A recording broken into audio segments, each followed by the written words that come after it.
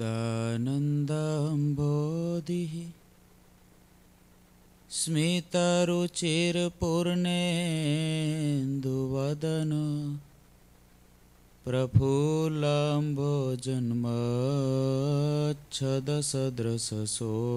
प्रफुल्लम्बोजन्मच्छदसदृशशोभाक्षियुगल कृपापारावार श्रितसकलजीवातिसुखदो। महाश्रेयो मूर्तिर्जयति सहि नारायणमुनि। वर्णिवेशरमणीयदर्शनं मन्दहासरुचिरात्मनाम्बुजम् पूजितं सुरनरोत्तमेर्मुदा धर्मनन्दनमहं विचिन्तये। ॐ अवतारिणे श्रीस्वामिनारायणाय नमो नमः। ॐ श्रीहरिकृष्णाय नमो नमः। ॐ श्रीपूर्णपुरुषोत्तमाय नमो नमः બોલો શ્રી સ્વામિનારાયણ ભગવાનની જય.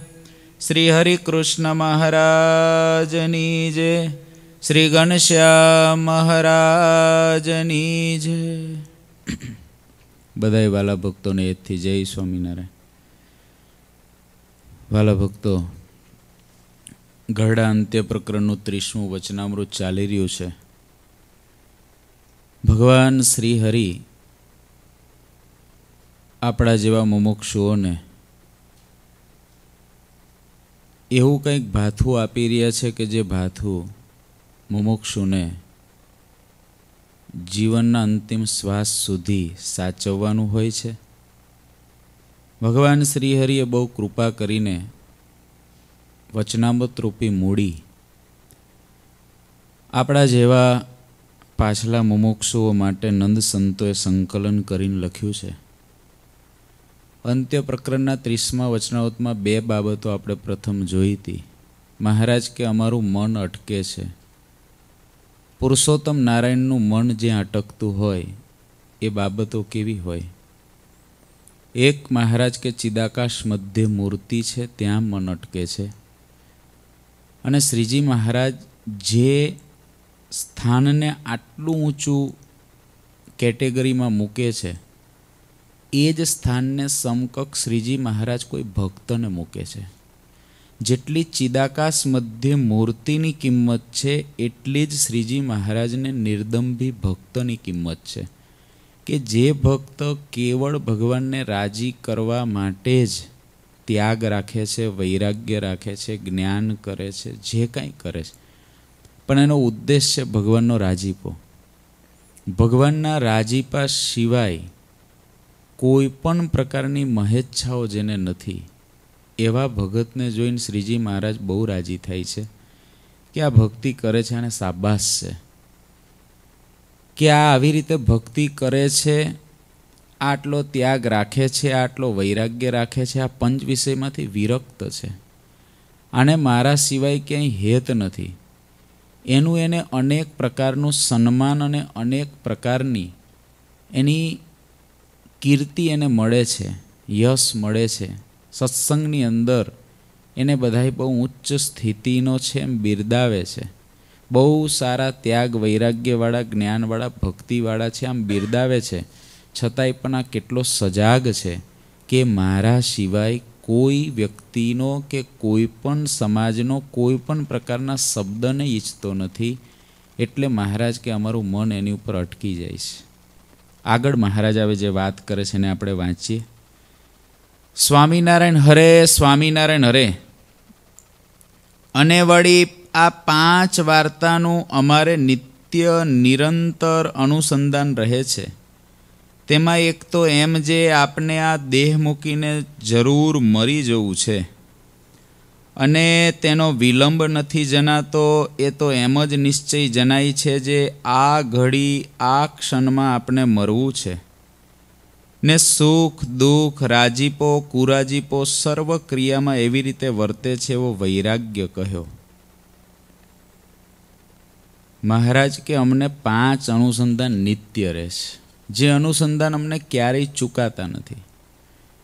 અનુસંધાન એટલે શું? કોઈ પણ ક્રિયા કરી રહ્યો છે વ્યક્તિ, કોઈ પણ કાર્ય કરી રહ્યો છે કોઈ પણ વ્યક્તિ, પણ એની અંદર કોઈ એના મુખ્ય કાર્યનું સચોટ એને જ્ઞાન, મુખ્ય એનું લક્ષ્ય છે એ બાજુની સચોટ એની દ્રષ્ટિ, એને અનુસંધાન કહેવાય. અનુસંધાન હંમેશા ક્રિયા કંઈક બીજી થાય છે, એની મધ્ય જે રાખવાનું હોય એને અનુસંધાન કહેવાય. એ ક્રિયા કરતાં કરતાં અનુસંધાન રાખવું ન પડે. પણ અનુસંધાનનો અર્થ જ છે કે ક્રિયા કંઈક કરો છો, એમાં તમારે કંઈક બીજું યાદ રાખવાનું છે, એનું નામ અનુસંધાન છે. જેમ કે, વ્યક્તિ ગાડી ચલાવે છે, વાતો કરતો જાય છે. પણ એનું મુખ્ય લક્ષ્ય છે ગાડી ચલાવવી અને જે સ્થાન પર પહોંચવું છે, ત્યાં સેફ રીતે પહોંચવું. ગાડી ચલાવતા ચલાવતા ઘણી બધી વાતો કરતો હોય, એકાબીજા સાથે બહુ મજાક કરતા હોય, હસતા હસતા ગાડી ચલાવતા હોય, એમાં અચાનક એક્સિડન્ટ થાય એવી પરિસ્થિતિ ઊભી થશે. એટલે વ્યક્તિ બધી જ વાતોને બંધ કરીને સ્ટેરિંગ ઉપર હાથ મૂકી દેશે અને એનો સંપૂર્ણ કંટ્રોલ ગાડીને કંટ્રોલ કરવામાં જતો રહેશે. એનું અનુસંધાન છે. એમ આપણી જીવન દરમિયાન શ્રીજી મહારાજ પોતે એક સાધન દશામાં અને સાધક તરીકે રહીને વાત કરે છે કે ભગવાનના ભક્તોને, ભગવાનના માર્ગે ચાલેલા મુમુક્ષુને પાંચ અનુસંધાન જોઈએ. એમાંનું પહેલું અનુસંધાન શ્રીજી મહારાજ પોતાના વૃત્તાંત દ્વારા કહે છે કે હમણે મૃત્યુનું અનુસંધાન નિત્ય રહે છે, કે આપણે આ દેહ મૂકીને જરૂર મરી જવું છે. મહારાજ કે, એ અનુસંધાન કેટલી જગ્યાએ રહે છે? સુખ અને દુઃખમાં રહે છે. રાજીપામાં અને કુરાજીપામાં રહે છે. બધી જ ક્રિયામાં એવું જ સતત અનુસંધાન રહે છે કે આ ઘડીએને આ પડે મરી જવું છે. વાલા ભક્તો, મૃત્યુ, અહીં શ્રીજી મહારાજ અનુસંધાન મૃત્યુ એ ભય માટે નથી કહેતા. આપણે તો બધાય શ્રીજી મહારાજનો આશરો કરીને બેઠા. ગુરુજી જેવા મોટા પુરુષનો આશરો કરીને બેઠા. આવા સંતો ભક્તો વચ્ચે આપણો વાસ છે. આવા વચનામૃત જેવા શાસ્ત્રો, ભક્ત ચિંતામણી, હરિલ્લામૃત, આવા શાસ્ત્રોનું આપણને વાંચન, પઠન ને શ્રવણ છે. મૃત્યુનો ભય અહીં શ્રીજી મહારાજ આપણને નથી બતાવતા. પણ શ્રીજી મહારાજ ચોક્કસ આપણને એક અનુસંધાન ચોક્કસ આપે છે કે તમારો શ્વાસ આ ઘડીએ જ બંધ થવાની તૈયારી છે. કહેતા વૈરાગ્યનું સ્વરૂપ શ્રીજી મહારાજ આપણને પાવા માગે છે. મૃત્યુના અનુસંધાનથી મને વિચાર આવ્યા એ પ્રમાણે હું કહું છું કે મૃત્યુનું અનુસંધાન શ્રીજી મહારાજે વૈરાગ્ય માટે આપ્યું છે અને એમાં પાંચ બાબતો સૌ પ્રથમ થાય છે કે મૃત્યુથી કેટલા ફાયદા થાય, મૃત્યુના અનુસંધાનથી કેટલા ફાયદા છે. પહેલું કે જ્યારે મૃત્યુ થવાનું હોય જ્યારે આવવાનું હોય આ ઘડીએ આવવાનું હોય, કાલે આવવાનું હોય, પાંચ વર્ષ પછી આવવાનું હોય, કે પચીસ વર્ષ પછી આવવાનું હોય, કે સિત્તેર વર્ષ પછી આવવાનું હોય, અકસ્માતથી આવવાનું હોય, કે પછી બેઠા બેઠા આવવાનું હોય, કોઈ પણ રીતે, કારણ કે મૃત્યુ ચરતી મદ ભયાત. ભગવાને કીધું, મૃત્યુ પણ. તમારા ભય બ્રહ્માંડે મૃત્યુ, જીવન જાણું છું. સદા સર્વત્ર રહે છે ફરતું જીવન જાણું છું. ભગવાનના ભયથી જ મૃત્યુ ફરે છે, એ કાળનું ચક્ર સતત ફરતું રહે છે. ક્યારેય પણ કોઈની પણ ઉપર આ પૃથ્વી ઉપર આવી, અનેક જીવાત્મા ઉપર એ કાળનું ચક્ર ભગવાનની આજ્ઞાથી પડતું હોય છે અને એના દેહ છૂટતા હોય છે. મૃત્યુનો સીધો અર્થ થાય છે કે પંચભૂતના શરીરમાં જ્યારે પ્રવેશ થાય ચૈતન્યનો, એનું નામ જન્મ છે. અને પંચભૂતના શરીરમાંથી જ્યારે ચૈતન્ય નીકળી જાય છે, એનું નામ મૃત્યુ છે.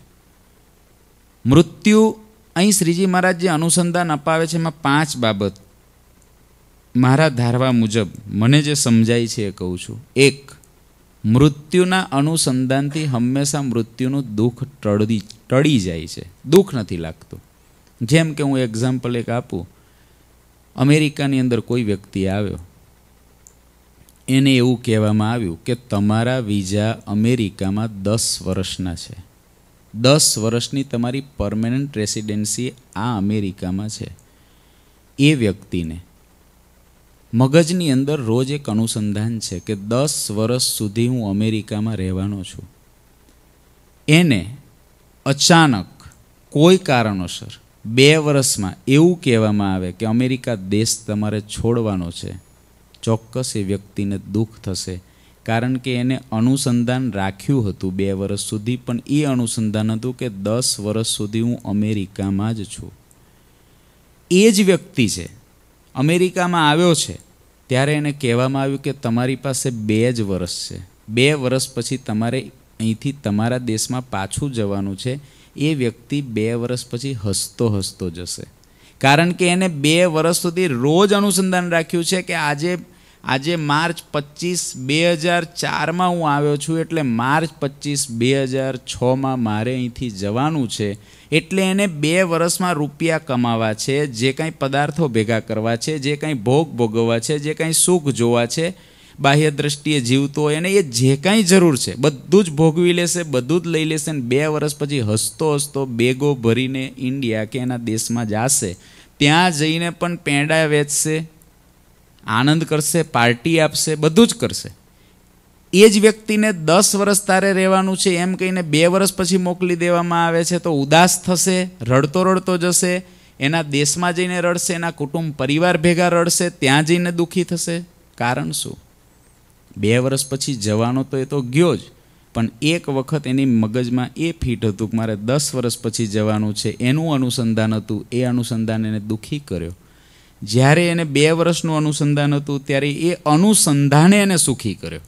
અનુસંધાને જ એને દુઃખી કર્યો અને અનુસંધાને જ એને સુખી કર્યો. મૃત્યુ એ અનિવાર્ય વસ્તુ છે. જેનો જન્મ છે, એનો મૃત્યુ છે જ.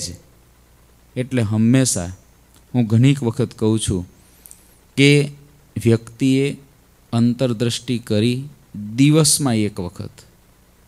નહીં તો વધુમાં વધુ અઠવાડિયે એક વખત. પોતાની ચિતાને જોઈ લેવી જોઈએ. પોતાના બોક્સને જોઈ લેવું જોઈએ. જો અહીં બોક્સમાં જવાનું હોય તો પોતાના બોક્સને એક વખત જોઈ લેવું જોઈએ. દિવસમાં એક વખત. એટલું અનુસંધાન આપણને ન રહે તો અઠવાડિયે એક વખત. એટલું અનુસંધાન ન રહે તો પંદર દિવસે એક વખત. શ્રીજી મહારાજ તો પડે પડે કે છે. પરંતુ આપણે કદાચ એટલા સજાગ ન હોઈએ તો પણ એક વખત આવું જોઈ લેવું જોઈએ. કે હું આ બોલતો, ચાલતો, ખાતો, પીતો, હસતો, આ જે કંઈ દેખાઉં છું, એક દિવસ કશું જ બોલાવાનું નથી, કશું જ મારાથી થવાનું નથી અને બસ આમ આડો પડી ગયો હોઈશ. એ પોતાની ચિતાને નિત્ય જોવાનો જેને અનુસંધાન છે, એ વ્યક્તિ એટલો વૈરાગ્યવાન હશે, ભલે એ આ જગતની અંદર રહેતો હશે, ભલે આ જગતની તમામ ક્રિયાઓને કરતો હશે. પણ જ્યારે મૃત્યુ આવશે ત્યારે પણ એને ભય નહીં હોય. દુઃખ નહીં થાય કે મારું મૃત્યુ આવ્યું વીસ વર્ષે આવી ગયું, પચીસ વર્ષે આવી ગયું, પચાસ વર્ષે આવી ગયું. હજુ તો આ બાકી છે એમ નહીં થાય. દુઃખ નહીં થાય.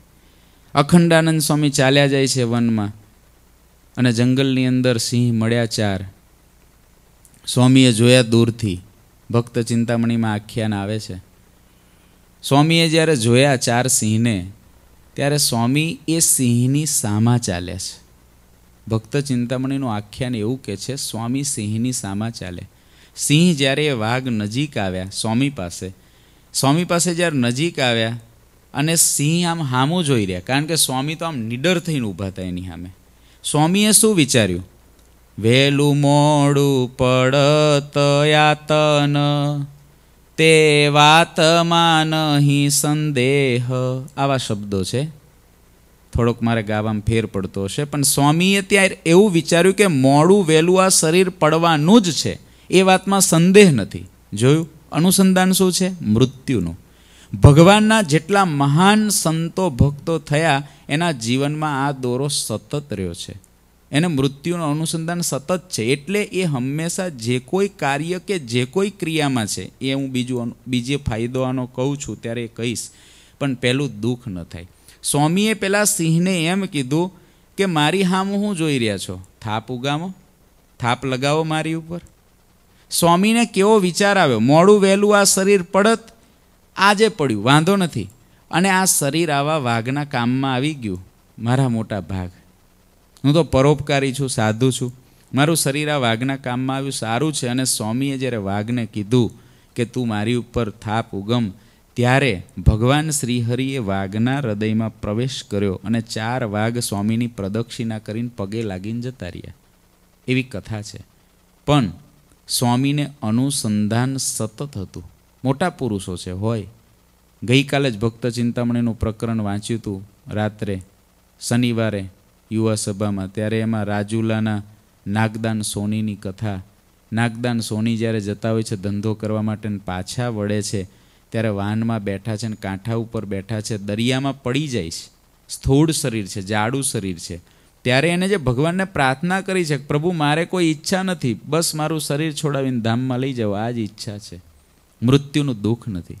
હમણાં જ આપણા અક્ષર નિવાસી પૂજ્ય યોગી સ્વામી હમણાં જ ધામમાં ગયા મહારાજના. એને ગુરુજીએ પૂછ્યું, મૃત્યુનો ભય છે, નથી. જોયું. કારણ કે અનુસંધાન એને કોઈક જગ્યાએ રોજ હશે. મૃત્યુનો ભય નથી. મહારાજ મળ્યા છે. એટલે પણ ભય નથી. પણ મૃત્યુ આવે છે એનું દુઃખ ન થાય. ભય ચોક્કસ ના હોય, પણ દુઃખ પણ ના હોય કે આટલું વહેલું મારે જતું રહેવાનું. કારણ કે અનુસંધાન છે, જન્મ છે એટલે મારું મૃત્યુ છે એટલે દુઃખ ના થાય. કારણ કે મનુષ્યનો તેવો સ્વભાવ છે, વિહારીલાલજી મહારાજ લખે છે, લાંબા વિચારો મનુષ્યો કરે છે તૃષ્ણા ગણી અંતરે તે ધરે છે, તે જોઈને કાળ હસ્યો રહે છે, આવી અજાણ્યો જીવને ગ્રહે છે. જીવ તો એવા બધા સંકલ્પો ને વિકલ્પો કરતા હોય, આમ કરી નાખવું છે ને આમ કરી નાખવું છે ને આમ કરી નાખવું છે, ત્યારે કાળ ઊભો ઊભો હસે છે.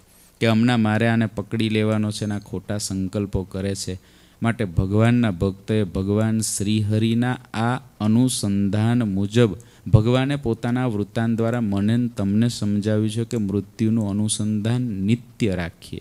નિરંતર શ્રીજી મહારાજ જો રાખવાનું પોતાનું કહેતા હોય, તો આપણે કદાચ નિરંતર રાખવાથી ન ટેવાયેલા હોઈએ તો એક એવો વિચાર દિવસમાં કોઈ એવો આપણો આપણો કોઈ એવા આખા દિવસના ધાર્મિક કાર્યક્રમોમાં પાંચ મિનિટનો વિચાર એવો રાખીએ કે જે મૃત્યુનો વિચાર. એટલા માટે વિચાર જરૂરી છે, એટલા માટે વિચાર જરૂરી છે કે આપણાથી થતી ભૂલો એમાંથી આપણને પાછા વાળશે. આપણી જગત તરફની કોઈ આસક્તિ છે એમાંથી આપણને પાછા વાળશે. કોઈ ક્રિયાઓ કરવાના અતિશય વેગ એમાંથી આપણને પાછા વાળશે. બીજું, મૃત્યુના અનુસંધાનથી શું થાય કે જરૂર વિનાની જરૂર વિનાનું કરવાની ઈચ્છા ન થાય. કેટલીક વસ્તુ એવી છે કે આપણે દિવસ દરમિયાન, આપણા દિવસમાં વાલા ભક્તો લિસ્ટ કરીએ, કે ખરેખર મારા આત્યંતિક કલ્યાણ માટે ઉપયોગી હું કેટલું કરતો હોઉં છું આખા દિવસ દરમિયાન. જીવન જરૂરિયાત માટે તમારે ગ્રહસ્થાશ્રમમાં છો, પૈસા કમાવા જવું પડે, જોબ કરવા જવું પડે, ધંધા બિઝનેસ કરવા જવું પડે, પણ એ કરવા પછી કોઈક સમય બીજો પણ છે કે જે સમયમાં એ નથી કરવાનું હોતું. જરૂરિયાત પતી જાય છે પછીનો સમય. એ સમય મારો. જો આ અનુસંધાનમાં હશે તો બીજું કરવાની ઈચ્છા નહીં થાય. આપણે જેમ કથા સાંભળવા તૈયાર થઈ જઈએ છીએ, ભજન કરવા તૈયાર થઈ જઈએ છીએ, એમ જ દિવસનો કેટલોક સમય બીજું પણ કંઈક કરવા માટે તૈયાર થઈ જતા હોઈએ છીએ. એટલે જરૂર વિનાનું કરવાની ઈચ્છા ન થાય. જેટલી જરૂરિયાતો એટલી જ ઈચ્છા થાય બગદાલ ઋષિ હતા. એને ઇઠ્યોતેર રામા અવતાર થયા ત્યાંના હતા, ત્યારના હતા. સતયુગ, દ્વાપર ત્રેતા અને કળયુગ, ચાર યુગની એક ચોકડી થાય. દરેક યુગની અંદર જે જે સતયુગમાં પ્રક્રિયા થાય છે, જે જે ત્રેતામાં થાય છે, દરેક ત્રેતામાં રામા અવતાર થાય છે. શાસ્ત્રોનો એવો મત છે. આ ઋષિમુનિ ઇઠ્યોતેર રામા અવતારથી આ પૃથ્વી ઉપર હતા. એમને પૂછવામાં આવ્યું, તમે કેટલા વર્ષથી છો? તો કે ઇઠ્યોતેર રામા અવતાર થયા. હવે ઇઠ્યોતેર રામા અવતાર એટલે કેટલા વર્ષો, કેટલા યુગો થયા ખગોળ ભૂગોળના વચનામૃતમાંથી ગણી લેવાના કેટલા થાય. કદાચ એના કેલ્ક્યુલેશન પણ નહીં થઈ શકતા હોય. એને કહેવામાં આવ્યું કે ઝૂંપડી બાંધો ને આ ઝાડ નીચે રહો છો. ત્યારે બગદાલ ઋષિ એમ બોલ્યા કે થોડા કાળ જીવવું ઝૂંપડું હું બાંધવું. અનુસંધાન જો થોડા કાળ જીવવું અને ઝૂંપડું શું બાંધવું? જરૂરિયાત પૂરતું જ કરે. આપણા સત્સંગની અંદર પણ એવા ઘણા ભક્તો થયા કે જેને જરૂરિયાત પૂરતું જ કર્યું. મયારામ ને ગોવિંદરામ ભટ્ટ બે બેઠા. રાત્રે બે ભાઈઓ વાતો કરવા બેઠા એટલે વાતો કરતાં કરતાં કે શાનો ધંધો કરીશું? અનાજનો કરીએ? આનો કરીએ? લોખંડનો કરીએ? લાકડાનો કરીએ? આમ એકાબીજારે વાતો કરતાં કરતાં કરતાં કરતાં સવાર પડી ગઈ.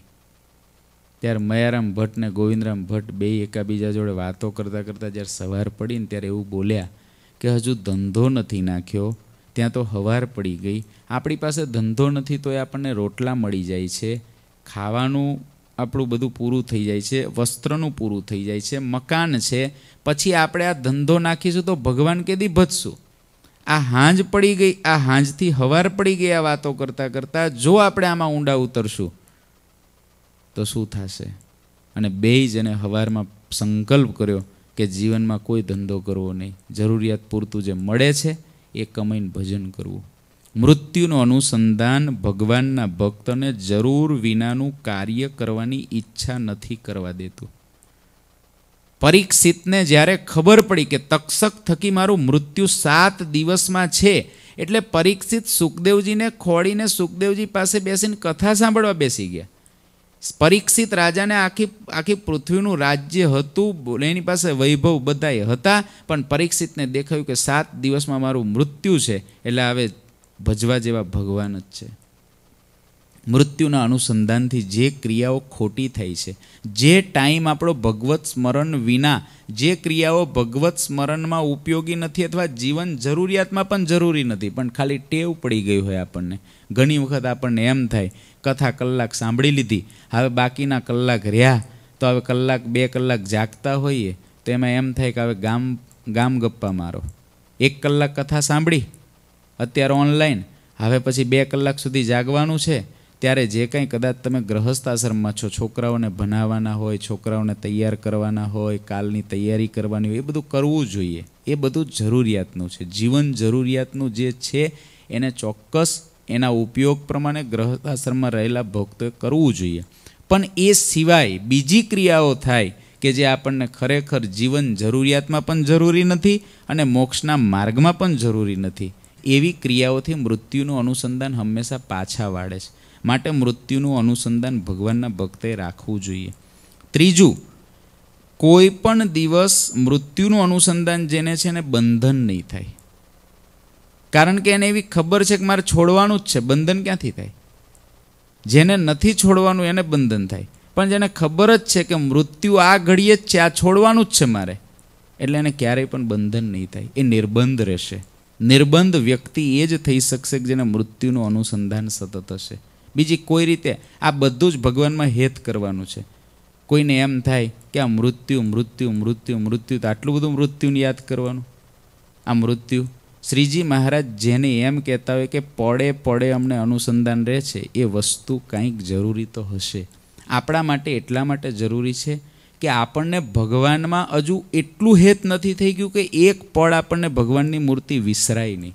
અરે, ભગવાનની મૂર્તિમાં અખંડ વૃત્તિ માટેના ચાર ઉપાયોમાં પણ શ્રીજી મહારાજે ગઢડા મધ્યનું છત્રીસમું વચનામૃત એમાં ચાર ઉપાયો અખંડ વૃત્તિના કીધા, એમાં પણ ભય બતાવ્યો છે. એક ભય છે, એ પણ ભગવાનમાં અખંડ વૃત્તિ રખાવે છે. માટે મૃત્યુનું આ અનુસંધાન જરૂરી છે. આ લોકમાં મનુષ્યનું જીવન ચંચળ અને અત્યંત અનિત્ય છે. બંધન ન થાય. કેવું બંધન ન થાય? જો બુદ્ધ ભગવાનની કથા છે. નેપાળની અંદર લુંબીની રાજ, લુંબીની શેર કપિલ વસ્તુ નામનું એનું પહેલાં નામ હતું કપિલ વસ્તુ અને એ શેરની અંદર શુદ્ધોદન નામના રાજા હતા. એમને ત્યાં સિદ્ધાર્થ નામના બાળક જન્મ્યા. બહુ પહેલેથી પ્રતાપી, ભજની, તપસ્વી, એની પ્રભા, આભા, બધું એવી બધાને આંજી દે એવા હવે રાજકુમાર જન્મ્યા એટલે રાજાએ જ્યોતિષીઓને ભેગા કર્યા, એના જન્માક્ષર બતાવ્યા, જન્માક્ષર જોયા. જન્માક્ષર જોઈને જ્યોતિષીઓએ કીધું કે આ બાળક છે બહુ પ્રતાપી છે. આ તો એનો પ્રભાવ એવો થશે કે બહુ મોટા રાજા થશે. જો રાજા થશે, તો બહુ જ મોટા રાજા થશે અને એનો પ્રભાવ એટલો હશે કે રાજ્યની તમામ પ્રજા એને ચાહશે.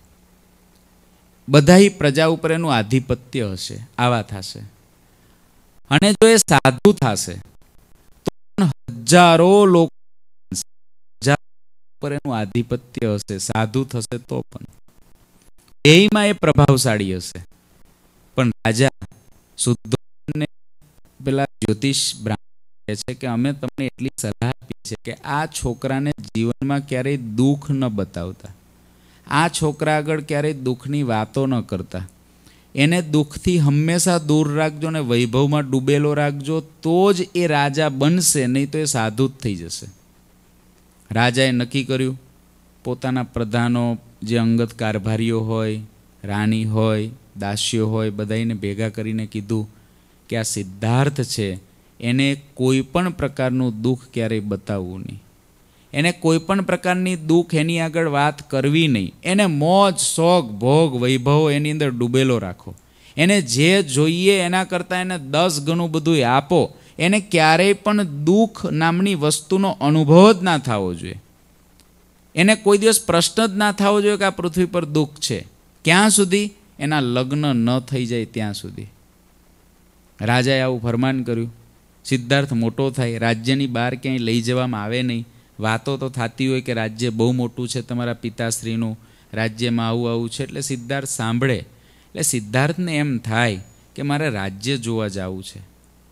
રાજ્ય મારે આખું જોવું છે. એટલે પેલા પ્રધાનોને કે મને રાજ્ય જોવા લઈ જાઉં રથમાં બેસાડીને. ત્યારે પ્રધાનો કે, તમારા પિતાજીએ ના પાડીશ. તમે મોટા થાવ ને, પછી તમને લઈ જાશો. અત્યારે તમે નાના છો, એટલે તમને ના પાડેલી છે. સિદ્ધાર્થને એક એમ રે રાજ્ય મારે જોવા જવું, રાજ્ય કેવું હશે? જેને દુઃખ નથી જોયું, એને દુઃખની ખબર ન હોય. જેને ભૂખ નથી ભોગવી, એને ભૂખ કેવી હોય ખબર ન હોય. જેને ગરીબી નથી જોઈ, એને ગરીબી કેવી હોય ખબર ન હોય. સિદ્ધાર્થ મોટા થયા, લગ્ન કરવામાં આવ્યા એના. યશોધરા નામની એક કુંવરી સાથે લગ્ન થયા. પછી એક રાહુલ નામનો પુત્ર થયો. પછી સિદ્ધાર્થને રાજ્ય એક વખત જોવાની ઈચ્છા થઈ, એટલે પ્રધાનો કે આવે હાલો. રાજા કે આવે વાંધો નહીં, કારણ કે હવે બંધાઈ ગયા છે. સિદ્ધાર્થ રાજ્ય જોવા નીકળ્યા, રથમાં બેઠા છે. સામે જિંદગીમાં ક્યારેય જેને જોયું નથી, એવું એક દ્રશ્ય જોયું. સામેથી એક ડોસો ચાલ્યો આવે. કમરમાંથી વાંકો છે. એનું શરીર ક્રુશ છે. મોઢા ઉપર કરચલીઓ પડી ગઈ છે. સિદ્ધાર્થે આ જોયું. આવો વ્યક્તિ એને કોઈ દિવસ જોયો જ નથી. એને તો પોતાની આજુબાજુમાં જુવાન દાસ દાસીઓ જોયા છે, રૂપાળા જોયા છે, મુગટ પહેરેલા જોયા છે, સોના ચાંદીના આભૂષણો પહેરેલા જોયા છે, મેવા મીઠાઈ જમેલા જોયા છે, પણ આવો દુઃખી તો કોઈ જોયો જ નથી. એટલે સિદ્ધાર્થે સીધું પૂછ્યું, પેલા સારથીને આ કોણ છે?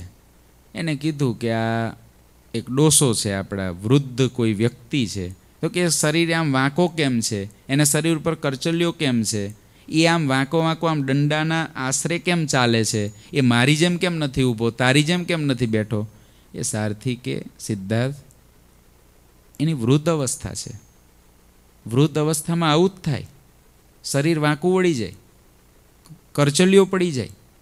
આવા લાકડીના ટેકે ચાલવું પડે. કોઈને ઉપાડવા પણ પડે. સિદ્ધાર્થ, વૃદ્ધ અવસ્થા આવી જ હોય. અત્યારે તો તું જુવાન છો ને તમે, રાજકુંવર, એટલે તમે જુવાન છો, એક દિવસ તમને પણ આવું જ થવાનું. સિદ્ધાર્થ કે હે મને આવું થશે? આવું જ થશે. તમારું શરીર વળશે, તમને કરચલ્યો પડશે. જરા અવસ્થા બહુ ખતરનાક હોય છે. સિદ્ધાર્થનેથી, ઓહો, આમાંથી બચવું પડે. આવી અવસ્થામાંથી બચવું પડે. ત્યાંથી આગળ ગયા. બીજો વ્યક્તિ મળ્યો. એ એને એને શરીરમાંથી રક્ત નીકળે ને પિત્ત નીકળે ને બધું ઝરે ને શરીર દુર્ગંધ મારે, સિદ્ધાર્થે એ જોયું. સારથીન કે, ઓલો વાંકો તો આ કેવો? આ કોણ? તો કે, એને રોગ થયેલો છે પિત્તનો. પતનો રોગ થયેલો? પતનો રોગ થયેલો છે? હા, એટલે એને લોહી પડે છે, પરવું પડે છે. રોગ મને પણ થાય? તો કે, એ હું ના કહી શકું, પણ પૂર્વના કર્મો જો એવા હોય તો એ રોગ આ જન્મે થાય. આ જન્મે કંઈક કર્મો એવા કર્યા હોય તો પછી આગલા જન્મે રોગ થાય. પણ રોગ તો થાય. કર્મ અનુસાર રોગ આવે શરીરમાં. તો સિદ્ધાર્થ કે મને આવશે? તો કે થઈ શકે. એટલે આને એમ થયું કે આ તો બહુ દુઃખ છે આ જગતની અંદર. આમાંથી છૂટવું જોઈએ. ત્યાંથી આગળ ચાલ્યા થોડા. ત્યાં ચાર જણા ખભા ઉપર કોકને હુવાડેલો અને નનામી લઈને ચાર જણા ચાલ્યા જાય. આખું ટોળું રડે. એટલે સિદ્ધાર્થ કે, આનો વજન એટલો બધો શું છે? ચાર જણા ઉપાડે છે ને આ હૂતો છે ને આટલા બધા રડે છે કેમ? એ કે, ભાઈ, નનામી છે આ. નનામી એટલે? તો કે, આ બસ, આ આ વ્યક્તિ મરી ગયો આવે આ જગતમાંથી. આ બધા એને ઉપાડીને બાળવા જાય છે એનો અગ્નિ સંસ્કાર છે. અને આ બધા એના દુઃખના કારણે રોવે છે. તો સિદ્ધાર્થ કે, મારી એક દિવસ આવું જ થવાનું? એક દિવસ એવું જ થવાનું, સિદ્ધાર્થજી. કોઈકને બાળે છે ને કોઈકને દાટે છે. આ જગતની અંદર આ શરીર તો છૂટવાનું જ છે. આત્મા નીકળી જ જવાનો છે. અને બસ સિદ્ધાર્થને એવું થયું કે આ જગત તો આખું દુઃખાલય છે. આમાં કોઈ જગ્યાએ સુખ નથી. એ મૃત્યુ જોયું અને સિદ્ધાર્થ પાછા તો ગયા રથમાં, પણ પાછા જઈને રાજમહેલમાં જઈને વિચાર કરે છે કે આ ભોગ વૈભવ આ બધું દેખાય છે, એક દિવસ છોડી જ દેવાનું છે? એક દિવસ પેલી નનામી જાતિથી એમ જ મારે જવાનું છે? રાત્રે બાર વાગે પોતાની પત્ની, પોતાનો છોકરો, પોતાનું રાજ્ય બધું મૂકીને જંગલમાં જતા રહ્યા અને જેને અહિંસા ધર્મ પૃથ્વી પર પ્રવર્તાવ્યો. ભગવાનને એક અવતાર તરીકે ભાગવતજીમાં જેનું વર્ણન છે, એ ભગવાન બુદ્ધ થયા. પણ એ બંધન છૂટ્યું કઈ રીતે? મૃત્યુનું અનુસંધાન. મૃત્યુનું અનુસંધાન ઘણા બધા બંધનો છોડાવી દે છે. શ્રીજી મહારાજ પોતાના શબ્દોમાં કહે છે, સાંભળો.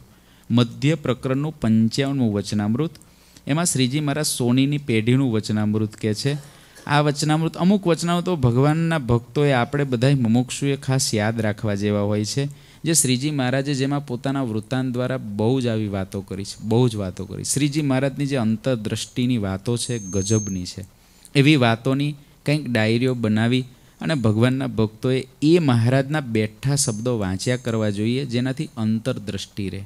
આ જગત એવું છે, વાલા ભક્તો. કે અંતરદ્રષ્ટિવાળો હોય ને એ બાહ્ય દ્રષ્ટિવાળો થઈ જાય. સત્સંગની અંદર પણ ધ્યાન ન રાખીએ તો અંતરદ્રષ્ટિવાળા હોઈએ ને તોય બાહ્ય દ્રષ્ટિવાળા થઈ જવાય. એના માટે શ્રીજી મહારાજે આગળ જે નિર્દંભપણું કીધું એટલે જ કીધું કે અંતરદ્રષ્ટિવાળો હોય તો એવું ન થાય, પણ બાહ્ય દ્રષ્ટિ થઈ જાય. સત્સંગમાં પણ થઈ જાય. સ્વામી વાતોમાં કહે છે કે સત્સંગી પણ અંતરદ્રષ્ટિ ન કરાવે. તો કુસંગી તો કરાવે જ ક્યાંથી? સત્સંગી પણ ન કરાવે અંતરદ્રષ્ટિ. એ બાહ્ય દ્રષ્ટિ કરાવી દે, એવું થાય. ધ્યાન ન રાખીએ તો. મહારાજના શબ્દો, સાંભળો. જેમ અને અંતરમાં અખંડ વિચાર એવો રહે છે, ભગવાનને અંતરમાં મહારાજ કે અમને વિચાર એવો રહે છે, અખંડ રહે છે. શ્રીજી મહારાજના શબ્દો જો અખંડ વિચાર રહે છે. કેવો વિચાર? જેમ મનુષ્યને મુવાટાને પથારી ઉપર સુવાર્યો હોય, ત્યારે તે મનુષ્યમાંથી સૌને પોતાના સ્વાર્થની વાસના ટળી જાય છે. માણસ મરવા પડ્યો હોય પથારીમાં, ત્યારે જે સ્વાર્થી માણસો આજુબાજુ ઊભા હોય, એ દરેકને એવું થાય કે હવે આ આપણા કામનો રહ્યો નથી. એવું થાય છે. અને મરનારાને પણ સંસાર થકી મન ઉદાસ થઈ જાય છે. પેલો મરવા પડ્યો છે ને, એને એમ થાય છે કે હવે આ છોડવાનું જ છે. એ ઉદાસ થઈ જાય છે. તેમનું તેમ અમારે પોતાની કોરનું અને બીજાની કોરનું અંત અવસ્થા જેવું સદા વર્તે છે. મહારાજે અહીં પણ પોતે મૃત્યુના અનુસંધાનની વાત કરી. અમારી કોરનું અને બીજાની કોરનું. મહારાજ કે અમને સદાય અંત અવસ્થા જેવું વર્તે છે. જાને બસ આ પડ્યું. આ તણ હમણાં પડ્યું. ઝપેટા કાલ સા, ઝપેટા બાજ કાજેસા આ તો એવું છે, પેલું બાજ પક્ષી આવે ને આમ પકડી લે. એમ એક દિવસ મૃત્યુ આવીને પકડી લે. પણ એ પહેલાં જો આવું અનુસંધાન રાખેલું હશે, મૃત્યુથી બીવા માટે વાલા ભક્તો, હું હજુ બરાબર યાદ રાખો, આ શ્રીજી મહારાજે મૃત્યુથી બીવા માટે અનુસંધાન નથી આપ્યું. પણ મૃત્યુ છે એ પહેલાં કામ કરી લેવા માટે અનુસંધાન આપ્યું છે. મૃત્યુ છે એટલે કોઈ ક્રિયાનું બંધન ન થાય એટલે અનુસંધાન આપ્યું છે. મૃત્યુ છે એ સહજતાથી આપણે સ્વીકારી શકીએ. આજે આપણું મૃત્યુ આવે તો સહજથી આપણે સ્વીકારી શકીએ. ભગવાનના ભક્તો હોવા છતાંય આપણે કહીએ ધામમાં જવું ધામમાં જવું મહારાજના ધામમાં જવું છે. આવું આપણે વારે વારે બોલતા હોઈએ, કહેતા હોઈએ કે આ દેહ છૂટી જાય ને એ સુખી થઈએ ભગવાનના ધામમાં જઈએ તો. પણ ખરેખર મહારાજ આપણને કદાચ રોગ કે કંઈ પ્રેરે તો તો કદાચ થાકીને કહીએ કે મહારાજ લઈ જાઓ. પણ આવા હાજા જ હોઈએ ને મહારાજ આવી જાય તો આપણે કદાચ સો બોલવાવાળા હોય ને એમાંથી અઠ્ઠાણું મહારાજને પાછા મોકલીએ. આપણે સો જણ જે બોલતા હોય ને કે મહારાજ આવે ને જો લઈ જાય તો સારું મહારાજ આવે આજે જતું રહેવું છે, આજે જતું રહેવું છે. પણ જો મહારાજ ખરેખર આવી જાય તો સોમાંથી અઠ્ઠાણું જણ મહારાજને એમ કે મહારાજ હજુ બાકી છે આટલું. તરત ઘણા બધા કામ નીકળી જાય. ઘણી બધી ક્રિયાઓ નીકળી જાય. ઘણું બધું કાર્ય કરવાનું નીકળી જાય. માટે એ અનુસંધાન શ્રીજી મહારાજ આપે છે કે હું જ્યારે તમને લેવા આવું, ત્યારે દરેક ક્ષણે તૈયાર રહો. મારો ને તમારો અખંડ સંબંધ છે. મૃત્યુ પડે પડે છે, એનો બીજો અર્થ એ થાય કે શ્રીજી મહારાજ પડે પડે આપણને લેવા માટે આતુર છે. શ્રીજી મહારાજ ક્ષણે ક્ષણે એવું વિચારે છે કે આ ભગતને હમણાં લઈ લો, હમણાં લઈ લો, હમણાં લઈ લો. આનો અર્થ સીધો એમ જ થાય છે, કારણ કે મૃત્યુ એટલે શું છે? આપણો મહારાજ સાથેનો અખંડ મેળાપ. અત્યારે મહારાજ સાથેનો આપણો મેળાપ છે, કારણ કે હૃદયને વિશે જ્યાં જીવ રહ્યો છે, જીવને વિશે પરમાત્મા અખંડ રહ્યા છે. આપણો મેળાપ શ્રીજી મહારાજ સાથે જ છે. પણ આપણી આંખોની આગળ પંચ વિષયના એવા પડદા છે. આપણે જગત તરફની એવી આસક્તિ છે. આપણને બીજી કોઈ પ્રકારના એવા બંધનો છે જે આપણને શ્રીજી મહારાજની સાથેનો અખંડ સંબંધ અનુભવવા દેતું નથી. છે તો ખરો, પણ આપણને આપણને અનુભવ નથી થતો, કારણ કે કોઈક એવા પડદાઓ પડી ગયા છે. કોઈ મોટા સાધુને પૂછ્યું છે કોઈ કે ભગવાન ક્યાં છે? તો કે પડદાની પાછળ. પડદાની પાછળ. પડદાની પાછળ ભગવાન? કયો પડદો? કયો પડદો ખોલે તો પડદાની પાછળ? તો કે પંચ વિષયમાં આસક્તિ રૂપી પડદો જો ખુલી જાય, આસક્તિ ઉડી જાય, તો ભગવાન તો ઊભા જ છે. એમ આત્મા ને પરમાત્માની વચ્ચે કંઈક એવો પડદો જ પડ્યો છે. બાકી એ બે તો સાથે જ છે. ઉપનિષદો કે છે આત્મા ને પરમાત્મા બે સાથે જ છે. પણ એ જે અનુભવ, એ આ દેહની અંદર છીએ અને દેહભાવ છે એટલે દેખાતું નથી. પણ જો આ અનુસંધાન કે મૃત્યુનું અનુસંધાન એટલે આપણે એવું અનુસંધાન રાખવાનું કે શ્રીજી મહારાજ હમણાં જ મને હવે અહીંથી ભેટવા તૈયાર છે. અખંડ મહારાજ મને ભેગો રાખવા મથે છે. આ પડે મહારાજ રાખશે.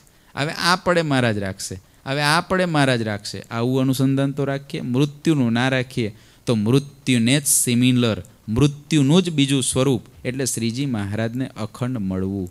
શ્રીજી મહારાજની ભેગા અખંડ રમવું. શ્રીજી મહારાજની ભેગા અખંડ રહેવું. શ્રીજી મહારાજના અનંત મુક્તોની એ સભાની અંદર શ્રીજી મહારાજ કે અમને એમ થયા કરે, આ દેહ મૂકીને મુક્તની પંક્તિને ક્યારે પામીએ? એ મુક્તોનું, એ એ મુક્તો જ્યાં બેઠા છે, એ મુક્તની પંક્તિમાં ક્યારે ભળી જઈએ? મહારાજ કે, સતત આવું રહે છે. સતત અમને આવું અનુસંધાન રહે છે એવું મહારાજે વચનાવતમાં કીધું છે. એમ એવું અનુસંધાન, મૃત્યુનું અનુસંધાન કહેતા શ્રીજી મહારાજ મને, આ પડે જ, હમણાં જ લેશે. આવું જે અનુસંધાન, એ ભગવાનના ભક્તે રાખવું જોઈએ. જેનાથી એને ક્યારેય પણ બંધન ન થાય. ચોથું, જે ક્રિયા ધર્મ સંબંધી કરવાની હોય ને, એ તત્કાળ થાય. મૃત્યુનું અનુસંધાનથી શું થાય? વિવેક આવે. કઈ ક્રિયા પહેલાં કરવી ને કઈ ક્રિયા પછી કરવી. આજે દસ મિનિટ પછી આપણું મૃત્યુ થવાનું હોય અને એક બાજુ ઉપર આપણે જમવાનું બાકી હોય અને એક બાજુ ઉપર આપણે માળા બાકી હોય, તો શું કરીએ? આપણે ભગવાનના ભક્ત છીએ. જગતનો જીવ કદાચ જમી લે. પણ આપણને ખબર હોય દસ મિનિટ પછી મૃત્યુ છે. તો આપણે માળા જ કરીએ. આપણે ભજન જ કરીએ. જેમ પરીક્ષિતજીએ કર્યું. કારણ કે ભગત હતા. એટલે એને એ કર્યું. આપણને મૃત્યુનું અનુસંધાન ચોથી વસ્તુ એ કરે છે કે કઈ ક્રિયાને પ્રથમ નંબર આપવો અને કઈ ક્રિયાને બીજો નંબર આપવો એ આપણને મૃત્યુનું અનુસંધાન વિવેક બતાવે છે. કાલે કર્યાનું શુભ જેહ કાજ તે તો ત્વરાથી કરવું જ આજ. કાલે જે કામ કરવાનું છે, એ ત્વરાથી આજ કરી લેવું. ધર્મ સંબંધી યુધિષ્ઠિર સદાવ્રત આપતા હતા. તો યુધિષ્ઠિર પાસે એક સદાવ્રત લેવા એક ભિક્ષુક મોડો આવ્યો થોડો. હવે એનો સદાવ્રતનો ટાઈમ પૂરો થઈ ગયો. એટલે યુધિષ્ઠિર કે, ભાઈ, કાલે આવજે. આજે નહીં. હવે ભીમ તો કેવી બુદ્ધિનો કહેવાય? ભીમસેન માટે તો એવું લખ્યું ને, કોઈની બુદ્ધિ બહુ સરસ હોય તો આપણે શું કે ભીમ જેવી બુદ્ધિ છે. જ્યારે ભીમને કીધું, ભાઈ શું દેખાય તને? મત્સ્ય વેદ કરવાનો અરે ત્યાં પેલી પક્ષીની આંખ હતી. એ આંખને વિંધવાની હતી. ભીમને ઊભો રાખ્યો. દ્રોણાચાર્ય કે, બોલો ભીમ, તમને શું દેખાય? તો કે, મને પહાડ દેખાય છે, ઝાડ દેખાય છે, પક્ષી તો દેખાયું જ નહીં. બધું જ દેખાયું, બોલો. અર્જુનને આંખ દેખાય આવા ભીમ.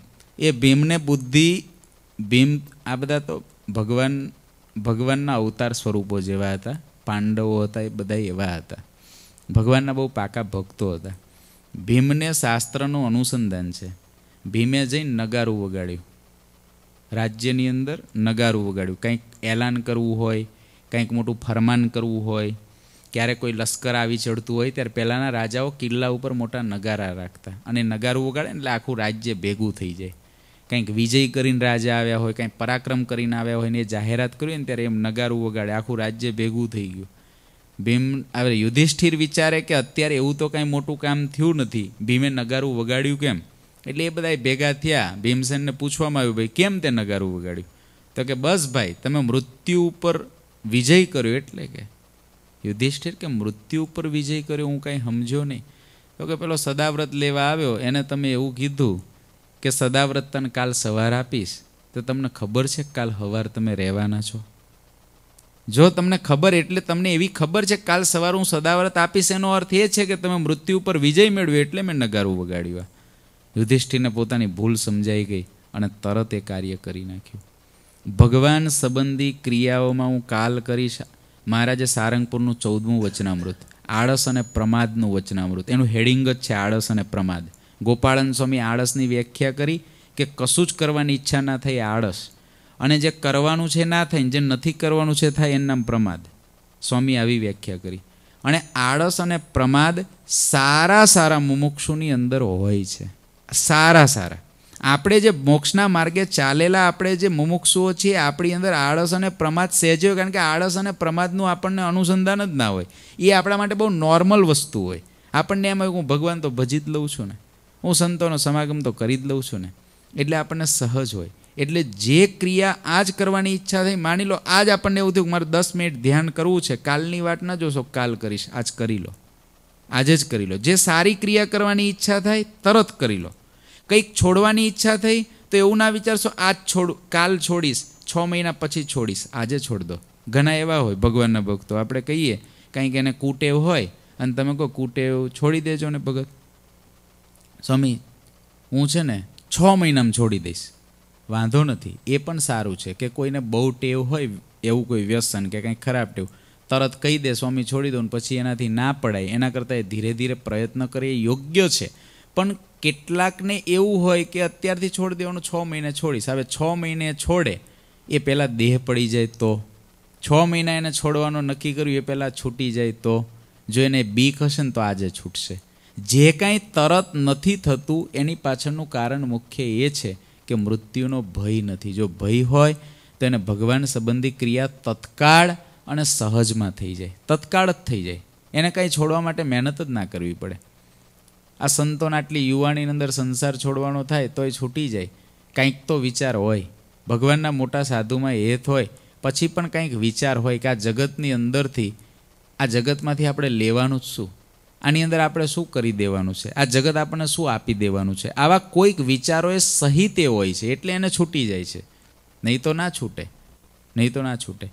એટલે એક એ અનુસંધાન. અને પાંચમું, કે મૃત્યુના અનુસંધાનથી પાંચમો ફાયદો એ એ છે કે સદા વૈરાગ્ય પ્રગટ રહે. વૈરાગ્ય ક્યારેય મૃતપ્રાય ના થઈ જાય. વૈરાગ્ય ક્યારેય બીમાર ના થઈ જાય. વૈરાગ્ય ક્યારેય દુબળો ના થઈ જાય. પ્રગટનો પ્રગટ જ રહે. એ નજરની સામે જ રહે. કારણ કે મૃત્યુનું અનુસંધાન એવું છે કે વૈરાગ્ય સતત પ્રગટ રાખે. વૈરાગ્ય એટલે ભગવાનમાં હેત રાખે ને જગતમાંથી વિરક્તિ કરાવે. કારણ કે એનું કારણ એ છે કે એને અનુસંધાન એટલે વૈરાગ્યને સતત પ્રગટ રહે. ક્યારેય પણ એને વૈરાગ્ય એનાથી છેટો ના જાય. શિવલાલ શેઠ જેવા આવડા મોટા શેઠ હતા ને વિધુર થયા, નાની ઉંમરમાં થયા. બહુ નાની ઉંમરમાં વિધુર થયા. હવે ભગાદોશીને ચિંતા થઈ કે શિવલાલને ઘરવાળી નહીં અને મારો છોકરો જુવાન હું લખો હું લાખોપતિ, ભાવનગર રાજ્યમાં મારું નામ, શિવલાલનું નામ અને શિવલાલને ઘેર ઘરવાળા નહીં, શિવલાલને સમજાવે બધા ભેગા થઈને. લગ્ન કરીને શિવલાલ. શિવલાલ, આપણે તો બહુ મોટું ઘર છે. આપણે તો આ શેઠનો પરિવાર કહેવાય. જોઈએ એટલા માંગા આવે તારા માટે. લગ્ન કરને. કારણ શિવલાલને એટલું જ છે થોડા કાળ જીવવું અને હું આવે આમાં ફસાવું.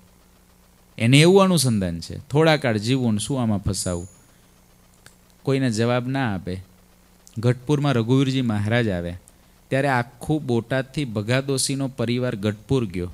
અને ગઢપુર ગયો ને, ત્યારે ભગાદોશીએ રઘુવીરજી મહારાજ સાથે આ દોશી પરિવારને બહુ સારો સંબંધ હતો. એટલે રઘુવીરજી મહારાજને ભગાદોશીએ કીધું કે, દીકરાને સમજાવો, શિવલાલને તમે કહેશો તો લગ્ન કરશે. રઘુવીરજી મહારાજે બોલાવ્યા. શિવલાલને કે, શિવલાલ, અમારી એક આજ્ઞા માનશો. બોલો ને બાપજી કે, અમારી એવી આજ્ઞા છે કે તું લગ્ન કર, શિવલાલ. બીજું લગ્ન કરી લે. તું વિધુર થયો છે. પણ આ ભાવનગરની અંદર તમારું બહુ મોટું નામ, બાપાએ બહુ મોટા, તમારું ઘરે બહુ મોટું, સુખી પરિવાર, તમને જોઈએ એવી દીકરીઓ મળે. બીજું લગ્ન કરી લો. અને અને બીજું લગ્ન કરી લો. અમારી આજ્ઞા છે વડીલોની ઈચ્છા છે. તો તમે ગ્રહસ્થ આશ્રમમાં છો. આ ઈચ્છા પૂરી કરો. શિવલાલ કે બાપજી એક વાત કહું. મારે જ્યારે દસ વર્ષનો હતો, ત્યારે મેં તમને કીધું કે મને સાધુ કરો. વરતાલમાં મેં કીધું હતું તમને યાદ છે? રઘુવીરજી મહારાજ કે, હા. ત્યારે તમે મને એમ કીધું કે તમારા પિતાની બધાની ઈચ્છા છે કે તમે સંસારમાં રહો અને ત્યાં રહીને ભગવાન ભજો. એટલે મહારાજશ્રી તમારી આજ્ઞાથી હું સંસારમાં ગયો. સંસારની અંદર ગયો, દસ વર્ષની ઉંમરે જ્યારે મેં તમને આ રજૂઆત કરી, તમારા કહેવાથી હું સંસારમાં ગયો, મારે અત્યારે મહારાજની ઈચ્છાથી હું વિધુર થયો છું. મારે ત્રણ દીકરા છે. મારે હવે સંસારની અંદર મારે બીજી ઘરવાળી કરવાની જરૂર નથી. કદાચ મારા બાપાને પેઢીઓ હાચવવાની ચિંતા હોય તો ત્રણ દીકરા છે. કુળ હાચવવાની ચિંતા હોય તો એ ત્રણ દીકરા છે. પણ બાપજી, તમારે તો કોઈ છે જ નહીં.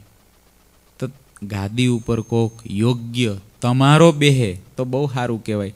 એટલે કામ કરો ને, તમારે તમે બીજું લગ્ન કરો એવી મારી વિનંતી છે તમને. કે જેનાથી કોઈ સંતાન તમને થાય ગાદી પર બેસે. રઘુવીરજી મહારાજ પણ વૈરાગ્યવાન પુરુષ હતા. રઘુવીરજી મહારાજને થયું કે આને તો હું ભટકાડવા ગયો, આ મને ભટકાડી દેશે. એટલે રઘુવીરજી મહારાજે ભગાદોશીને બોલાવીને કીધું કે આ બહુ વૈરાગ્યવાળો છે, એ કંઈ અમારું સાંભળે એમ નથી, એટલે તમે એને હવે કોઈ આગ્રહ કરશો નહીં. પણ તમે એને ગુણાતીતાનંદ સ્વામી આરે એ જ છે એટલે સ્વામીને કહેજો. એટલે સ્વામી એને આજ્ઞા કરશે તો લગ્ન કરે. ભગાદોશી સ્વામી પાસે ગયા. જુનાગઢ જવાનું તો થતું જ હોય સ્વામીને કે આને સ્વામી શિવલાલને કહેજો લગ્ન કરે. ત્યારે સ્વામી તો શિવલાલની સ્થિતિને જાણે છે. મોટા સાધુ તો બંધનમાં નાખવાનું ઈચ્છે જ નહીં. એટલે સ્વામીએ ભગાદોશી બહુ મોટા શેઠ એટલે એમની વિનંતીને સ્વામીએ એવી રીતે ઠેલાવી. સ્વામી કે શિવલાલ જો રઘુવીરજી મહારાજનું ના સાંભળે આવડા મોટા સંપ્રદાયના આચાર્ય, એનું ના સાંભળે તમારું ક્યાંથી સાંભળે? એટલે અત્યારે છે ને નાનો છે એટલે વેગમાં હોય. એટલે છ આઠ મહિના જવા દો, પછી આપણે વાત કરીશું. આવી રીતે સ્વામીએ વાત ટાળી નાખી. અને છ આઠ મહિના પછી તો શિવલાલ શેઠ આત્માનંદ સ્વામીની સેવામાં ગયા અને પછી ત્યાંથી સ્વામી પાસે માગ્યું ધામમાં ગયા બધી કથા છે આખી. પણ કહેવાનો અર્થ કે શિવલાલને જો એ સતત અનુસંધાન હતું, કોઈ એમની પાસે એ વૈરાગ્ય સતત પ્રગટ રહ્યું, એની પાછળનું કારણ એ હતું કે આ દેહને મૂકવો જ છે કાલે. એટલે તો નાની ઉંમરની અંદર એટલું માગી લીધું. નહીં તો સત્સંગની સેવા થતી હતી, બધું જ થતું હતું. છતાંય પણ આત્માનંદ સ્વામી જ્યારે બીમાર પડ્યા અને આત્માનંદ સ્વામી આઠ મહિના પહેલાં જાહેર કરી દીધું હતું કે આ દિવસે આવી રીતે હું દેહ છોડીશ. એટલે પોતાનું બધું જ કામકાજ મૂકીને સ્વામીની સેવામાં જતા રહ્યા હતા. અને જ્યારે એ સેવામાં જતા રહ્યા સ્વામીને, સ્વામી જ્યારે ધામમાં જવાના થયા, ત્યારે શિવલાલ શેઠે માગ્યું કે, સ્વામી, તમે મને તમારા તેરમાના દિવસે ક્યાંક લખ્યું છે? સોળમાને દિવસે, પણ તમે મને લેવા આવજો. ત્યારે સ્વામીએ બે ચાર વખત કીધું, શિવલાલ, તે આ શું માગ્યું? તું તો ભગા દોશીનો પેઢીનો વારસદાર ને કેટલા સુખાઈ ઘરનો છોકરો ને તે આવું શા માટે માગ્યું? તારે મોતની શું જરૂર છે? અહીં રે. સત્સંગ કર, સેવા કર. શિવલાલ કે, સ્વામી, નહીં, તમે કીધું હતું ને કે હું ફરું નહીં, આવે, બસ, મને લઈ જજો. જો અનુસંધાન હતું. અનુસંધાન હતું ત્યારે મગાવ્યું એને એ એ વહાલું હતું ત્યારે મગાવ્યું એને શ્રીજી મહારાજ એટલા વહાલા હતા ત્યારે મગાવ્યું ભલે આપણા જીવનની અંદર શ્રીજી મહારાજની ઈચ્છા હોય ત્યારે મહારાજ આપણને લેવા આવે. જે રીતે આપણો દેહ છૂટવાનો હોય એ રીતે દેહ છૂટે. શ્રીજી મહારાજની જેમ ઈચ્છા હોય, અકસ્માતથી છૂટે, રોગથી છૂટે પીડાથી છૂટે, કોઈ આપણને ગોળી મારે ને છૂટે, આપણે ક્યાંક પર્વત પરથી પડી જઈએ ને છૂટે, આપણે પ્લેનમાં બેઠો ને પ્લેન તૂટી જાય ને છૂટે, આપણને એટેક આવે ને છૂટે, આજે કેન્સર આદિક રોગો થાય જેવા રોગોથી આપણું શરીર છૂટે, પણ આપણે અનુસંધાને રાખવાનું છે કે આ દેહ છોડીને આપણે પુરુષોત્તમ નારાયણને દરેક પડે મળવાનું છે એ અનુસંધાનથી આપણને વૈરાગ્ય સંસારની અંદર સતત રહે અને ભગવાનમાં હેત રહે એવું મહારાજનું એ કહેવું છે. એટલે મહારાજના આ અનુસંધાન જે પાંચ છે, એમાંના આ અનુસંધાનને આપણે મુમુક્ષુએ સતત યાદ રાખવા જેવું છે. હવે મહારાજ પોતાનું બીજું અનુસંધાન આપણને આવતીકાલે કહેશે. હરિકૃષ્ણ મહારાજની જે શ્રીપતિમ શ્રીધરમ સર્વદેવેશ્વરમ ભક્તિધર્માત્મજમ વાસુદેવમ માધવમ કેશવમ કામદમ કારણમ સ્વામિનારાયણમ નીલકંઠમ. શ્રી કૃષ્ણ મહારાજની જે